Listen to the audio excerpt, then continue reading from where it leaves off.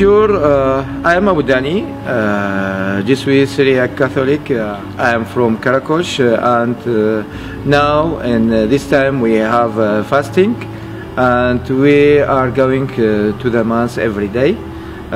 This is a good time to be ourselves, to be near to our God, Jesus, and this is very important to our people. Not only fasting from the food, but for praying and for all of uh, the people and for all of you too, for all of the Christian who is suffering, and this is very important. Now the situation it's be better after we are returning to our uh, towns, and with this uh, special fasting uh, before the Easter, give us more force to be uh, more strong to stay in our uh, town and place. Merci, thank you very much.